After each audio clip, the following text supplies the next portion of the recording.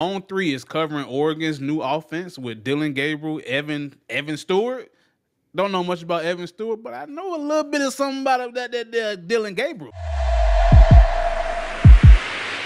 The Oregon offense averaged over 41 points a game in 2023. Some changes in that offense now. Bo Nix no longer be your quarterback, entering Dillon. And I'm gonna say this: if you've been following my channel, especially you've been following me on Twitter, uh, then you will know that I'm not the biggest fan of Bo Nixon, but I am a huge fan of that coaching staff um, with at, at Oregon. I don't think they asked their quarterbacks to do too much.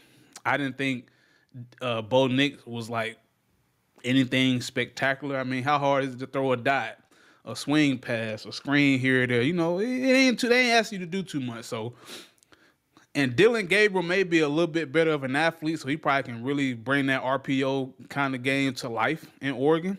Uh, I think I think it's a good fit. Smaller quarterback, a little bit probably more mobile, even though Bo Nix can run.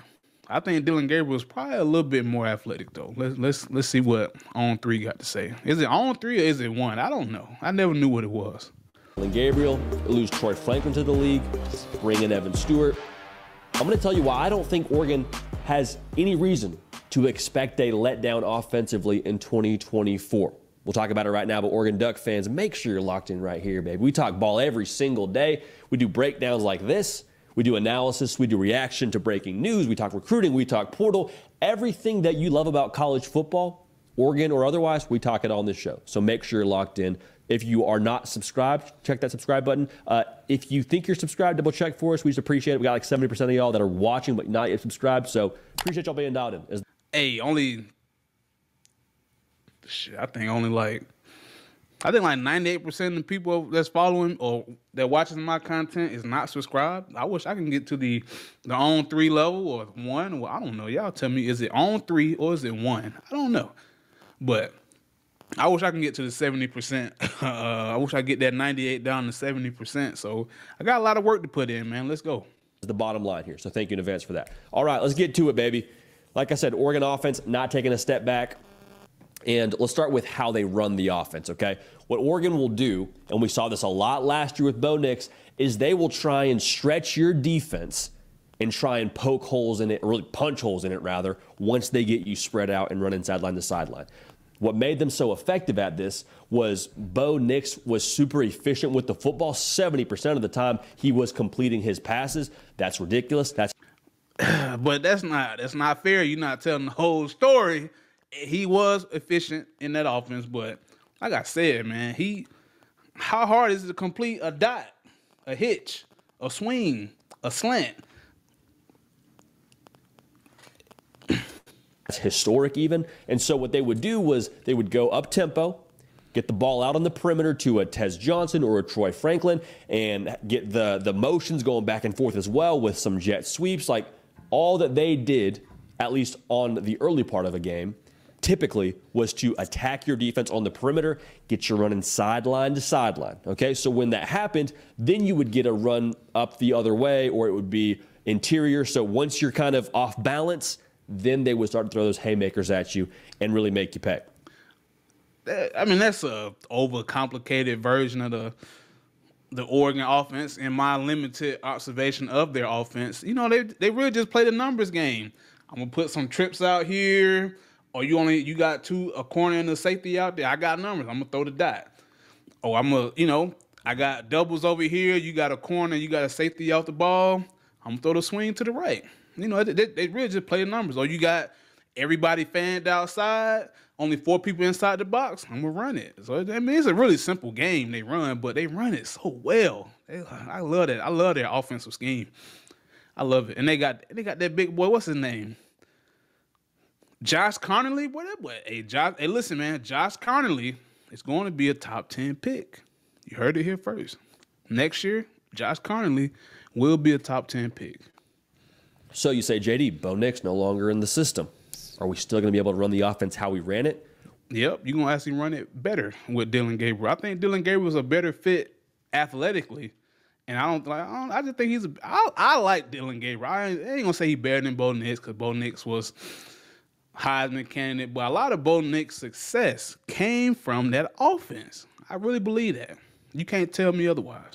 Will Stein, he's a he's an architect offensively, but you know his key piece, his quarterback, isn't there anymore. To that, I would answer 1,000%. I believe Oregon will not lose a step, in large part because of who's running the show now for you at quarterback, but a left handed Bo Nix, in my opinion, and Dillon Gabriel. Everything that Bo Nix did well, I think Dillon Gabriel can do well in the exact same sense. I'm not saying he's going to be a Heisman Trophy candidate. I'm not saying he's going to throw and complete around 80% of his passes, but I do think what is required to do well in this offense, efficiency, he has in spades. Ooh, see, hey man, look, me and uh, what's the man name, Pakel, and we speaking the same language right now. See, I ain't even, and we on the same page. Like, hey man, I don't think Bo Nix was asked to do much in that offense. And I don't think Dillon Gabriel is going to be asked to do much within that offense. But I do think Dillon Gabriel's legs need to be a little bit more respected. Um, you know, it's, you know, it's hard to compete with a 70% completion percentage from Bo Nix. Uh, if you can equal that, great, great. But um, I think I think Oregon is in good hands, unfortunately, because y'all know I like I'm a Georgia fan. You know I rock with Coach Prime. Coach Prime. I'm rocking with Prime. Win, lose, or draw. I'm rocking with Prime. It is what it is. Uh, but hey, man, I like Oregon. I like what what Dan is doing up there. I like the team he's put together. I like the, I like the recruits he's grabbed in the 2024 class. Like I just like I like a lot. I like everything they're doing at Oregon. Will they get over the hump this year? I don't know. I'm for sure gonna watch. Last season, Dillon Gabriel completed 69% of his passes. Say, JD, that's like almost 10% less than what Bo Nix was doing. Well, before Bo Nix came to Oregon, his highest completion percentage at Auburn was 61%. So what mm. I'm hmm. trying to say here is the system, people say, oh, system quarterback Bo Nix, system quarterback that. I don't think that's a correct way to view this, but I do think the system complements the quarterback. Now, come on, bro. You come on, bro. You can't you can't say he's not a system quarterback and then say well the system complements the quarterback. You talking in circles, bro. Just say Bo Nix benefited greatly from being that Oregon system. There's nothing wrong with that. For the longest, Tom Brady was a system quarterback. The Tom Brady we know today was not the Tom Brady we saw his first 10 years. He just wasn't. So the Tom Brady we see today, the last 10 years of his career, now that guy, that Tom Brady, is not a system quarterback. Those first 10 years, though, system quarterback. And there's nothing wrong with that a big part of why Bo Nix was successful in this offense and a reason why Dillon Gabriel will be successful. On top of his accuracy, on top of his efficiency, he's experienced. Dillon Gabriel going into his sixth year playing college football. What that tells me is he is not going to panic in pretty much any situation. He's seen a lot, he's played a lot of ball. He's not going to get in situations and feel flustered and feel overwhelmed. He's going to be the cool, calm, steady hand. And for Oregon, as much as you want to talk about their system being quarterback friendly, the way that I view Oregon's offense is like a rocket ship when you're playing quarterback. There's a lot of bells and whistles. There's a lot of things you have to be on your P's and Q's for because it happens very quickly. Oregon had one of the lowest sack rates in the country last year, in large part because Bo Nix got the ball out of his hand quickly.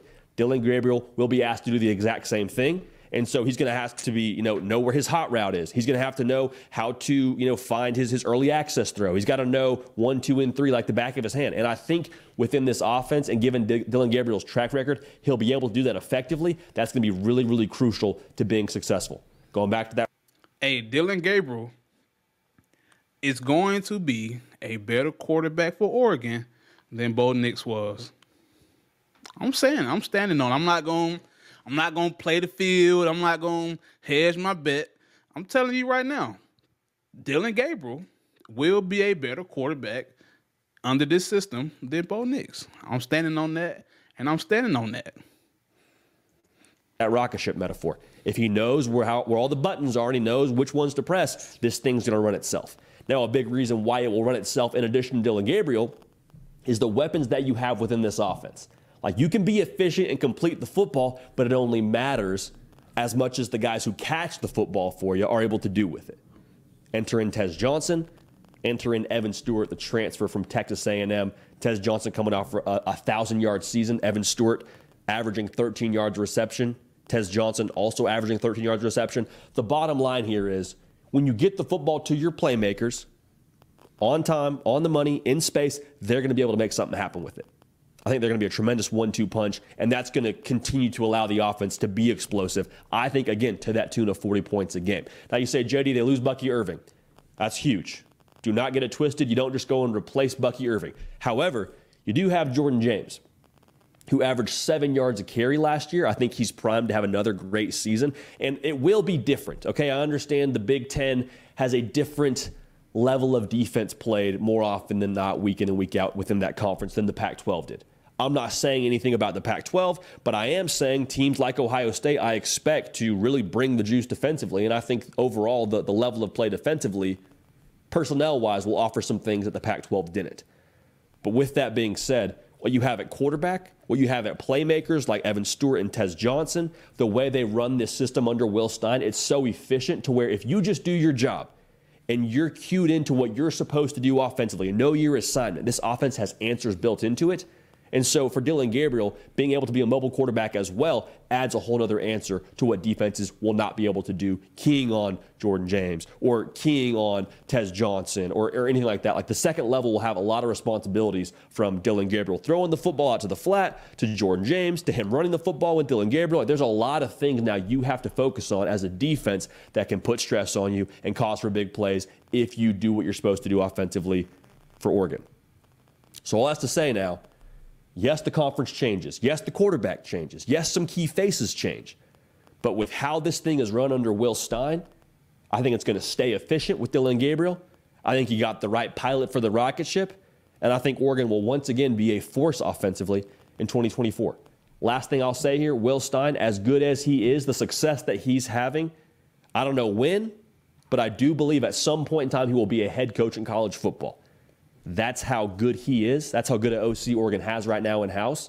And this year is going to be a big year, I believe, again, offensively, by nature of how they've attacked the portal and who they have running the show for them. So let me know how you feel about Oregon offensively in 2024. Let me know also what other breakdowns you want to see on this very channel. This is a fun part of the year where you just get to kind of talk ball, kind of break down some some X's and O's through a, you know a, a, format like this, where we just kind of talk through some staples of different offenses and what's effective. Or all right, so like I said before, man, I like what Dillon Gabriel did at Oklahoma. I'm, I I don't I don't I don't I don't pump fake on that. Pump fake on that. I really like what Dillon Gabriel was able to do at Oklahoma. And I think in this Oregon offense where it's like so easy to be a quarterback, just follow your read, man. Count your numbers, boom. Count your numbers, boom. One, two, three, give it. Boom. You know, then you can once you suck those defenders up, then you can hit them over the top, hit them seams, cover three, hit those uh hole shots and cover two, hit that deep, hit that hit that deep middle versus that linebacker and cover two, man. Whatever. But I like Dillon Gabriel.